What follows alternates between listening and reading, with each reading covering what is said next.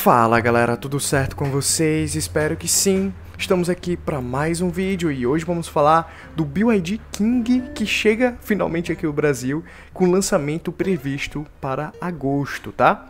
Mas antes de trazer detalhes sobre esse veículo e sobre o o que ele entrega, né? Eu tenho que pedir para vocês deixarem seu like e se inscreverem no canal. Realmente muito importante aqui pra gente, estamos aí com a meta de crescer cada dia mais e conto muito com a ajuda de todos, então vamos embora. O sedã médio BYD King, equipado com motor 1.5 híbrido plug-in e autonomia de até 1.200 km, está a caminho aí do Brasil com lançamento previsto até ju entre julho e agosto, tá? Após focar em veículos elétricos nos últimos lançamentos, a BYD expande sua linha com carros híbridos plug-ins, visando o segmento inexplorado, tá?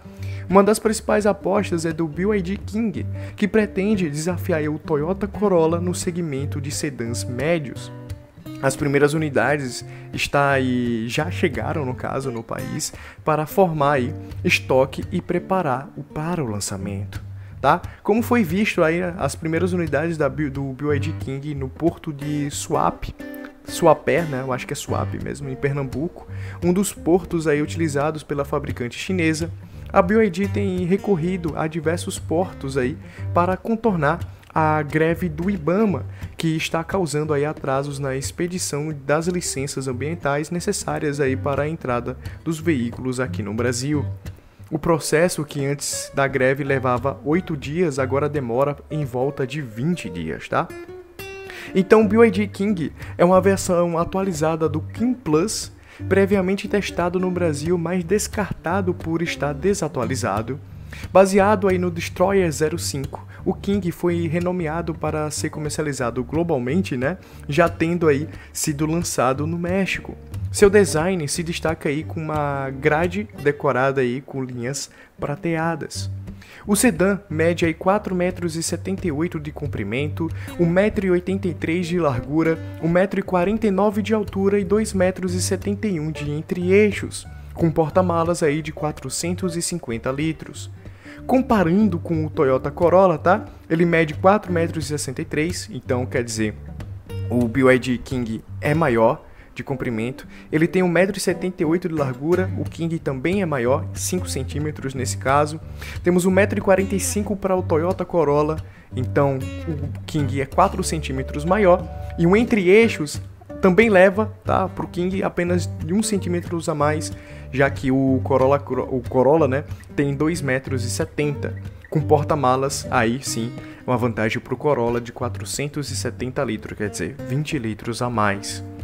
Além de compartilhar o segmento, a disputa com Corolla se intensifica né, por ambos serem híbridos.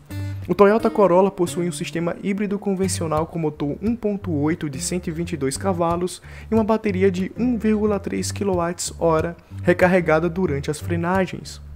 Já o BYD King apresenta um sistema híbrido plug-in com motor 1.5 e motor elétrico, totalizando aí 204 cavalos de potência e uma bateria de 8,3 kWh, permitindo aí uns 50 km de autonomia no modo 100% elétrico.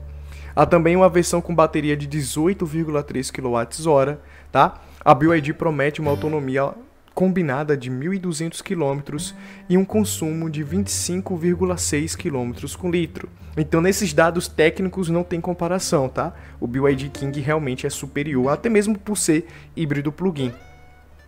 O BYD King virá também bem equipado, visando atrair consumidores que apreciam tecnologia. Entre os destaques estão aí o painel digital de 8,8 polegadas, central multimídia de 12,8 polegadas, com Android Auto e Apple CarPlay, controle de cruzeiro, assistência de, de permanência em faixa, freios de estacionamento eletrônico, entre outros, tá? Ainda não se sabe o preço do BYD King aqui no Brasil.